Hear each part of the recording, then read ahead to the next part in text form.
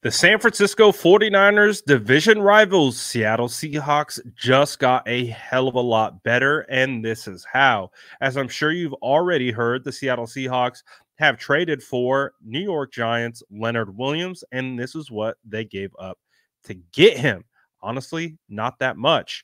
When you look at it, the Seattle Seahawks gave up a 2024 second round pick and a 2025 fifth round pick to go and get one of the top interior defensive linemen in the NFL.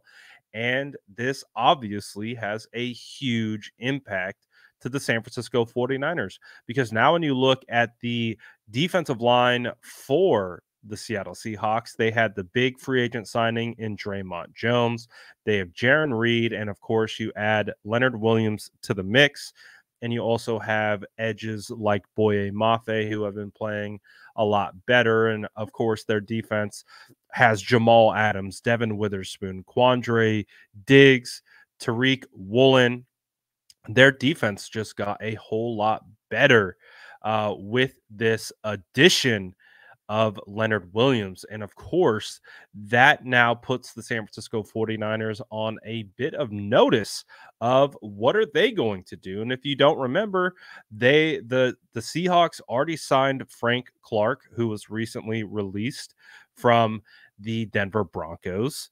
Uh, and they will eventually have Uchenna Nwosu coming back from IR.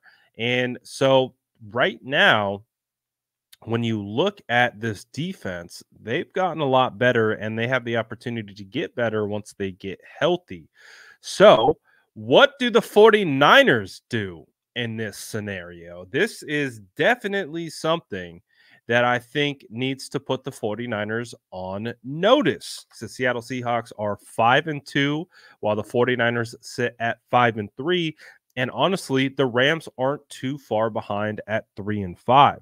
And now you have the Seattle Seahawks with the current number one standing in the NFC West go and get better. So the way that I'm interpreting this is the Seattle Seahawks know exactly that they have the 49ers right where they want them.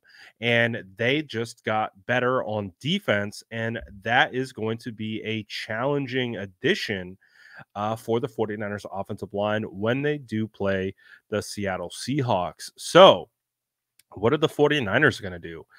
Are they going to respond by making a trade of their own, making multiple trades of their own?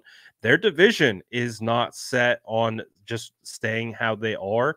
Seattle Seahawks got better. We saw last week the Eagles went out and got Kevin Byard, all pro safety.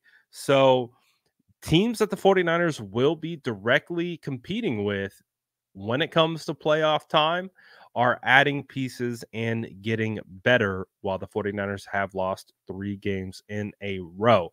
So, what are the 49ers going to do to respond? Are they going to go out and make a trade for a cornerback, for an edge? How do you think the San Francisco 49ers are going to respond to this? Let me know in the comments and also let me know if you think that the Seattle Seahawks got better and if you think this is a direct situation with how the 49ers have been going and how the Seattle Seahawks do believe they have an opportunity to win the West. And they just went out and got better for honestly just a second and a fifth. That's not that much. Um, and especially especially if Seattle is going to be a contender, that second could be a late second.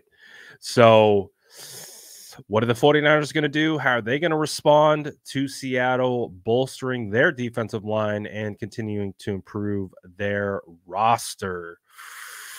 Hopefully, we get some trades here in the next couple hours. Uh, the, the trade deadline is almost exactly 24 hours away and it ends tomorrow on Halloween. What do you think is going to happen with the 49ers? Let me know in the comments below. And as always, make sure to like and subscribe for more updates.